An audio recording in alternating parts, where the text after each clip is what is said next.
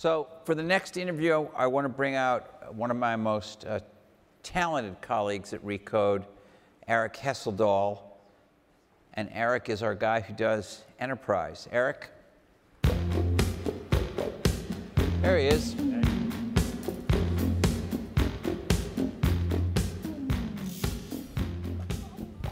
And So- Go ahead. Go ahead. You go ahead. Oh, so it's often said that pretty much every company that exists today is in some way a software company. And so one of the companies that uh, we, we're kind of excited to have Paul Maritz with us today, who, uh, whose company Pivotal is kind of taking advantage of this trend. And so Paul, come on out.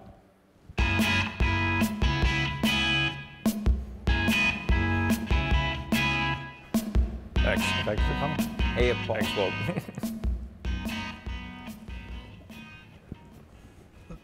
So this morning, I was reading up another profile of, of, of Pivotal, and a, and, a, and a phrase kind of stuck with me.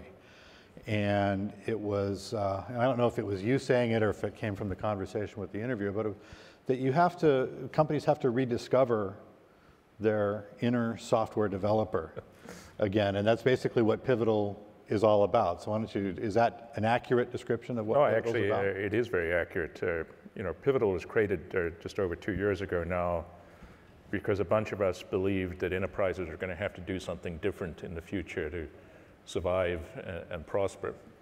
And uh, there are two huge trends going on, which is uh, a complete remaking of the systems of engagements whereby enterprises reach their customers uh, is fundamentally changing. The, the, the era of spending vast amounts of money on advertising to drive the masses to you are passing. Instead, people are having to build these engaging and useful and compelling experiences, many cases delivered on a smart device, uh, to pull the customer in that way. Uh, and a lot of the disruptive companies today, as you guys know, don't spend huge amounts of money on advertising. Uber doesn't spend vast amounts Right. of money on advertising. They build this experience that pulls you in. And on the other hand, there's this unfolding uh, Internet of Things, uh, whereby you know everything that's made from your socks to a jet engine is going to be attached to the internet and constantly dialing home. My, my socks to the internet. Yeah, okay. Uh, uh, and to, to take advantage of that, uh, as well as these systems of engagement, companies need to learn how to kind of catch people or things in the act of doing something and affect the outcome. That requires not only new and different technology, but a different culture. Uh, and uh, so we have been speaking to that trend, and uh, I don't think it's an exaggeration to say that it's almost a rising sense of panic inside enterprises today as they are beginning to realize the depth of the transformation that's going on. Um, Can you, can you give me an example of that panic? I mean, Sure. And, and So, in that uh, way, you'd probably end up describing some. Yeah, so I was uh, just a couple of weeks ago. Uh, we were visited by one of the CEOs of the largest car companies in the world.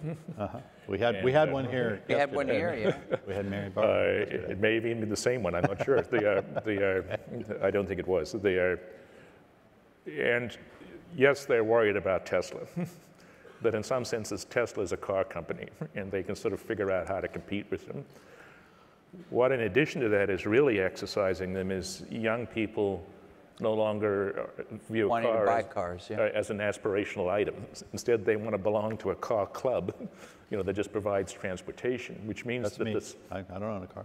whole system of engagement, of how you engage with your customer, is radically changing. And uh, the CEO was saying, look, I've got this magnificent team of people who get their jollies on analyzing the vibration in drivetrains, et cetera. But I don't have the capability to engage with young people in a fundamentally different way. Uh, and for me, that's a cultural problem. Yes, there's technology that's going to be involved, but where do I come to and who do I work with uh, to help me build that new set of capabilities? And that, that's the vein that uh, we identified and have actually been able to So tap into. walk us down that a little bit because I don't want the story to stop there in explaining what you do. Uh, y- that executive could have gone to a marketing agency or an advertising agency and said, help me connect with millennials. And that agency would have figured out, okay, you know, here are the YouTube channels they watch. Here, here's, here are the, the, you know, the, the things they read, places they go, and we will put the appropriate marketing and advertising around that. That's one thing, and maybe they are doing that too, but you're not doing, going to do that for We're them. not doing so that. what are you going to do to Well, connect them to? where we, we, into that conversation is, is these companies like that car company are realizing that the app, quote unquote, is going to be as important as the car. Right. Uh, that the engagement doesn't start in the vehicle. the engagement starts outside of the vehicle in a, in a variety of different ways. Right. Uh, and the ability to build that app as a compelling experience, a compelling, useful, real-time experience. They're realizing they not only need a new technological substrate to do that, but they need a different culture. because, so when we put our company together, we did something a little bit unusual. Uh, we not only had the technical aspects, which is where I come from, you know, I'm a plumber by trade. I get my jollies out of uh, operating systems and things like that. But we realized that there was this cultural transformation was going to need it as well. So we built our company around a company called Pivotal Labs that we acquired, which is one of the, the most respected custom application development houses in Silicon Valley. Grew up writing uh, applications for many of the startup names, including several that you've had on stage here. Twitter was one. Twitter was one, uh, et cetera. Uh, and they have evolved a different way of doing product development, uh, trying to really not only do things quickly, but above all, get them right first time, and really be able to go around that iteration loop of learning and adapting constantly. Is it, is it from But Pivotal what- Labs? So, Go excuse me, uh, Arik, so uh, that's your capability, but again, you, you're going to, So- so you're going to give we- these guys some software and that's going to what's- solve so their what- millennium what's, uh, what's differentiating, differentiating about us is we go to them and say, look, we can write software for you, but what we really want to do is to write software with you. We want to essentially help you learn how to do this. So we're getting increasingly engagements now where companies come to us and say, look, we need to build a new innovation capability. We need a partner who can initially get us started on that journey, but above all, help us learn us how to do that themselves. Because if what you're talking about is the, the essential, critical, differentiating experience of your company, you can't outsource that to anybody. Uh, you can't buy it off the shelf from somebody. So you've got a whole generation of IT uh, over the last 25 years who thought that the right thing to do was to outsource everything, including paradoxically, in many cases, the, the first thing they outsourced was their application development capability. Now they're waking up and realizing that their competitors view product development and software development in particular as a critical advantage. So that's where the panic is coming from, because they're looking at this and saying, look, we, we just don't have this uh, in our, and it's not just a technical issue, it's just that we just don't have the people who know how to think that way. So we're increasingly doing what you can think of as build, operate, transfers for companies. So for instance, working with Humana, one of the largest healthcare companies. Right. Who came to their own realization that to be in healthcare these days, you need to be in wellness as well as illness. Yeah. And to be in wellness, you've got to be engaging with people, taking all the information from their watches, their Fitbits, their, their smartphones. And by definition, you're not going to be encountering them in the hospital when they're well. Uh, so the system of engagement is changing. And they realized they needed to go on a journey to do that. They looked at themselves and said, you know, we've got a bunch of guys who know how to run ERP systems. We don't know anything about how to do that, but it's going to be a critical capability for us in the future. So we're helping them build an innovation uh, uh, capability. Doing the same thing here uh, in Los Angeles with CoreLogic, a big um, provider in the financial services space, et cetera. So that's one major piece of your business, is the software development piece, the build, what did you say, build? Build, operate, transfer. Build, operate, transfer. So you build it, help them build it, transfer it to them. Um, That's one big piece of your business. The second big piece of your business, you teased at it, is Yeah, so what, what we say is, is you not only want to do product development, and I say product development because it's more than just software development, in a modern way, but you want to do it on a platform uh, that really does justice to that. You want to do it on a platform that takes full advantage of the cloud and the new data capabilities, but doesn't lock you into any particular cloud provider. Uh, so the sort of it's very, Amazon, Azure, yeah, Azure. so the very loose analogy is you can look at these modern infrastructure clouds like Amazon, et cetera, as kind of, these are the giant computers of the 21st century.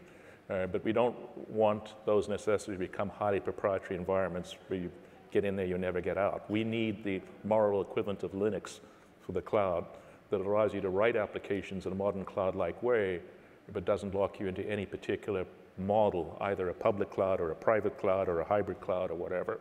And you need the data capabilities, particularly in the Internet of Things space, that take advantage of what the cloud uniquely does. And what the cloud does as a different to what the client server generation does is from a developer's perspective, it gives you access to a huge number of inexpensive machines and lots of cheap storage. You as a developer now, in, when you look at the cloud as an architecture as opposed to a place, you as a developer can say, look, I want a thousand machines to throw at my problem, and I want them for the next 30 minutes, and I'm going to give them back to you. You could never have even begun to think about that in the client server uh, era. And, and that's what a lot of these big internet consumer companies like Google have been trading in. They're trading in applications where you can take advantage of that. So we need to unlock that for enterprises as well. Right. And so, I'm doing that all, by the way, on an open source base. It, which sa- it, it sounds like you're basically a, a, a- a consultant in many ways. No, we're, we're, we're a, a company that is aiming to provide transformational capability to our customers, both on the culture as well as the technology side. so when, So when you our- engage with a company, do you, do you leave after a while? Yeah, so do I, our permanent? perfect engagement would be to leave after a while, having given them business capability, in other words, applications and the capability to develop new applications running on this new platform. Mm-hmm. And our long-term monetization is obviously comes from the underlying platform.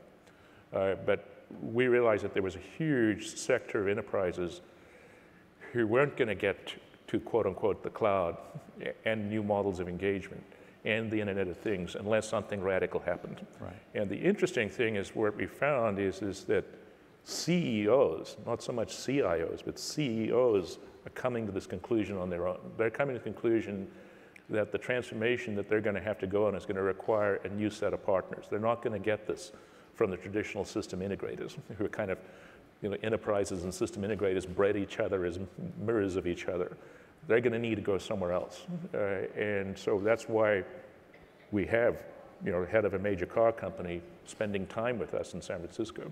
They, why doesn't IBM, why isn't it true that IBM does the same thing? Cultural transformations, Walt, as you and I know, are very hard to do. You Yeah. and I were talking about, you know, how we first met 20 or 25 years ago when I was at Microsoft and we Right. were king of the hill then. And uh, these major shifts in the industry are not only technological shifts, but each of those technologies breeds a certain kind of person. Uh, you're successful because you're good at operating that kind of a model. And when a new model comes around, it's very, very hard to change. And that's why Pivotal is an interesting exper- uh, experiment because, in corporate governance, because we said, look, rather than try and do this inside an existing entity, let's spin it completely out. Let, let's uh, create an entity that doesn't have to worry about the legacy and can just lean into the future. Is, but you're not, are you an independent company? We're an independent company, a completely independent company. Within Our- the Federation of EMC? Well, we, our, our, our shares, uh, 80% of our shares are owned by EMC and VMware, but 10% by General Electric, 10% by the employees. But all the employees have pivotal equity. They don't have EMC equity. so we're incented to make pivotal successful. So I was at the EMC shareholder meeting, and, and Joe Tucci spoke rather eloquently. You were there too, I saw you.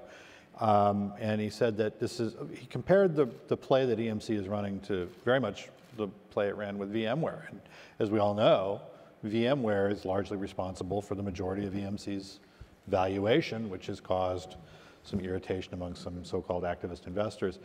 How are you going to get to that same play? And you're former CEO of VMware, by the way, so everybody got their scorecards.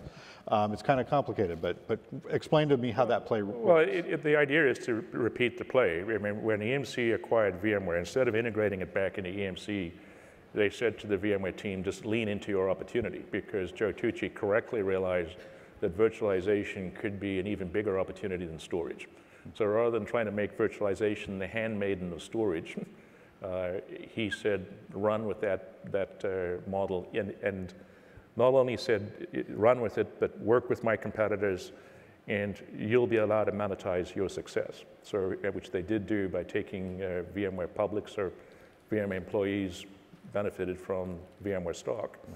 And the model is the idea is the same here. Again, basically lean into this opportunity, be successful, even if it means working uh, with other infrastructure providers, and you'll have a, your own currency to reward and, and incent your employees. And eventually, the plan is to take Pivotal public in the same way that E- VMware That, that would be the final stage of the, of the play. How far along are you toward that now? Uh, we're not focused on that right now. We're just focused on, you know, I, I'm from the old school. I believe you first have to be successful Right. before you go public. So, so as a, so let's just. That let's is old school. That, that is, that is kind of old school. I appreciate that. Let's, let's gauge, I think, So nostalgic. Correct me if I'm wrong, but I think Joe gave a number that you're at somewhere in the ballpark of about a $300 million run right now? Yeah, we're, we're in transition because we brought in certain capabilities to build this company that we thought were going to be needed to really write this new generation of cloud independent but cloud oriented applications. Uh, so we took ingredients that came from a traditional enterprise, enterprise license, closed source model and have been transforming it into an open source and subscription model. And uh, we're just through that transforma- uh, translation now. So although our revenues are about 300 million, within that 300 million, there's a new foundation of open source subscription-based revenue that is growing very strongly. So you've got a strong software as a service business that Right. has that recurring revenue model. That's interesting. Um, So then, how does it fit within the larger opportunity at EMC, a company that's kind of in transition right now? I mean, how does it, Well, the whole, the whole enterprise space is in transition, and uh, this was an explicit decision to say, look, when these transitions happen, uh, you can't just do it as business as usual. uh, you've got to really have create a part of your company that can truly lean into the future, and this model is uh, one where you, you really set it up that way that uh, you create a group of people whose job it is not to protect legacy, uh, but to lean into the future. You know, there- and there's always a, a cost to doing that. Now you've got a separate entity, you have to manage it separately, et cetera. But uh, when these transitions are happening, history teaches us it's very different, difficult for legacy companies that have bred themselves into a certain culture, that are getting the big revenue streams and profit streams from entities that are going to be hard to walk away from, is that almost inevitably you don't lean into the opportunity the way you should. Uh, Walt and I were talking about our, you know, nostalgic days at, at Microsoft, and you know, the problem there was at Microsoft. You know, Microsoft built its first, first smartphone in 1999, but we always saw it as a handmaiden of the PC. Right. You had this incredibly overwhelming success uh, uh, that no matter which way you looked, it was impossible not to see this as simply as a way to continue to support, you know, that endeavor. Uh, and as a result, you know, we didn't capitalize on it. Whereas uh, Apple had the courage when they got into, maybe because they hadn't weren't the major winner, to really look at the iPhone as an independent experience, not as a Mac Junior. Uh, and these kind of cultural transitions are very hard to do, which is why this is kind of an interesting model of corporate governance. speaking of transitions, and, and I get, you- I- I'm sure you get asked this all the time, but Tucci is going to retire. Would you have any interest in replacing him? Uh, I'm very happy doing what I'm doing right now. I've, I've always had a passion for applications and data. You don't want to run the whole thing? Is that a no, Paul? Uh, that is the statement that I'm very happy where I am. Good enough, good enough. Why don't we, uh, why don't we go to questions? Uh, Seems like a natural moment. Oh, there's Stuart Alsop again. Yeah, I, I, I, Paul. Hi, Paul. How you Um, doing?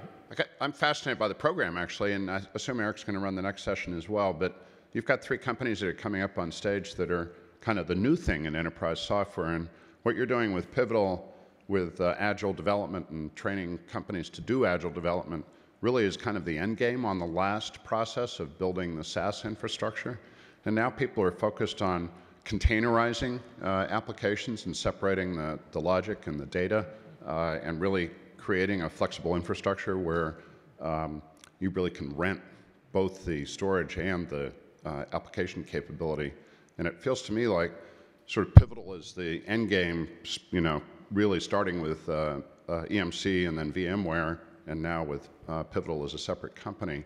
Um, it would seem to me that if it's Mary Barra or the CEO of another automobile company, the reason they're really terrified is they have no idea what Stripe, Slack, how's, uh, how these things are going to affect their future and, and whether they even understand what these companies are doing. I fundamentally agree with that. Uh, the, the panic is coming from a realization that they're going to have to compete with companies who engage with the customer in fundamentally different ways. And the necessary uh, capability to engage with people is to understand how to do product development and technology in fundamentally different ways. Uh, so, what Pivotal is set up to do is to say, we can help you start that journey, and we can help you start it on top of a modern platform that has all the containerization and the other mumbo jumbo stuff built into it already so that you don't have to discover that on your own. You can kind of leapfrog all of that. We'll take you right to the stuff that really matters, which is how do you build business value, and we will along the way get you doing it on a modern platform that will scale into the future. Okay, well. Steve Wildstrom. Yeah, following on Stuart's question a little here, um, how important is it in building these systems that you're building for companies uh, to use open, open systems environments? Is that a big software deal or not? It, it is a big deal in the following sense, uh, and first of all, as I said, we, we have completely aligned ourselves with open source, and where there wasn't an open source parade for us to join, we've, we've gone out and created it ourselves. So we've created the Cloud Foundry open source parade, for instance.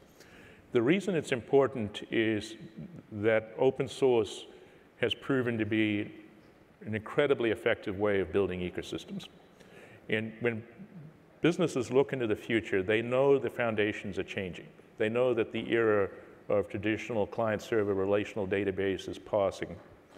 Uh, they're not sure where to go, but when they look out, they see the biggest and most vibrant ecosystems being created around open source.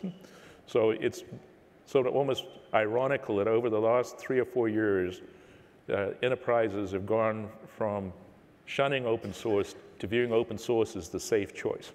the old way people said you didn't get fired for buying IBM, now you don't get fired for buying open source. so open source is the way that ecosystems are built, and uh, e well-functioning ecosystems are incredibly powerful things. So businesses are realizing that and aligning with it. They also like the fact that in theory, open source gives them an out. You know, they, it's the old thing, you know, fool me, you know, once, shame on you, fool me twice, shame on me. They look at how they got locked into vendors in previous eras and they're saying, I'd like to try and avoid that. So I like open source that in theory, if a vendor becomes abusive, uh, in theory, I could go round up my colleagues in my industry and you know, we could go fund someone else to take this over. But lastly, and this is not important, is the software is free. that, that's actually the last consideration in their minds. They're going on a very important journey here. They want partners to work with, but they want partners who have a different attitude and uh, who are trying to build more open ecosystems. I, I have one question, because I visited Pivotal and I noticed, this is kind of interesting, and you see it, you see the developers hanging out in pairs. They work in pairs, they hang out in pairs. Can you explain what that's about? Yeah, it's, it, I've actually had to learn a lot uh, in the last couple of years because I I was thinking you, are when you're going to ask me the gender question or the diversity oh, yeah. question, we'll, but uh, we'll get to that. I'm going to ask. I, uh, we'll, we'll I grew up in you know Microsoft and the cultures where I like to say it was development by hero. Mm. Sometimes I use a more pejorative super, term. Super developer. Uh, more pejorative term than that. They were the you know elite of very high IQ, abrasive people who kind of drove everything. Right. This world works very differently. It starts with the idea that modern development is a team sport, and if it's a team, then there's one rule for everybody on the team. And in our particular iteration of it, we work in pairs, and the reason is not about having one person check on the other.